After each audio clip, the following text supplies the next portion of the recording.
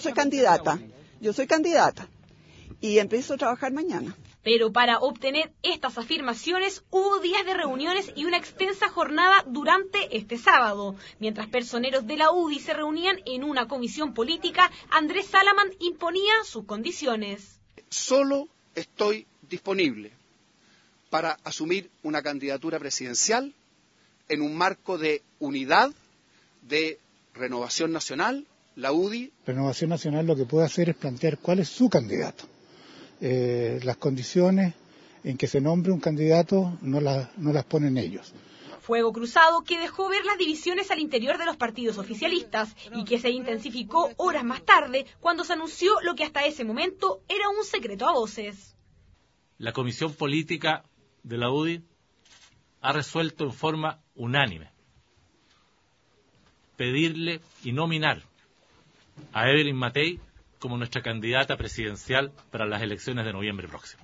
Frente a este escenario no existe consenso y no existe unidad y obviamente se anteponen intereses personales por sobre el interés colectivo de la alianza y por, y por sobre el interés de Chile, obviamente que esto se pone cuesta arriba. Y esperamos que la UDI recapacite y que de una vez por todas trabajemos por la unidad, no solo en el discurso, sino que en los hechos. Y en los hechos la UDI está enviando señales que son absolutamente contradictorias. Críticas que no impidieron que la directiva de la UDI se reuniera con Evelyn Matei, poniendo fin solo a una parte de esta polémica.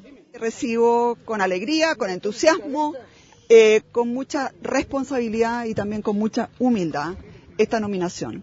Que Michelle Bachelet es totalmente ganable Renovación Nacional tiene todo el derecho de nominar naturalmente su propio candidato y después estamos dispuestos a someternos a cualquier mecanismo que tendrán que ver las directivas de los partidos. Y busquemos todos los canales necesarios con Renovación Nacional, los mecanismos para que podamos resolver y asumir con toda la responsabilidad que esto requiere la forma como llegamos a un candidato único.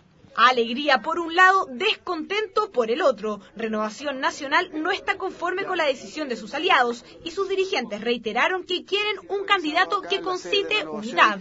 Al parecer eh, no está resultando nuestro empeño unitario, pero aún así nosotros nos vamos a dar otras 48 horas de, espera para hacer alguna gestión adicional con la directiva de la UDI y, en fin, está por dilucidar la, posibilidad de ser una primaria. Trabajar por la unidad de la alianza implica agotar todos los elementos necesarios para los efectos de que el candidato que representa a los dos partidos eh, de alguna manera eh, sea capaz de poder eh, representar a todos y cada uno de ellos a pesar de los llamados a la unidad, aún no hay consenso en la alianza. Se estima que hasta el lunes se prolongará la vorágine política del oficialismo, donde aún no hay certeza de cómo enfrentarán los comicios presidenciales de noviembre. Flavia Cordella, CNN Chile.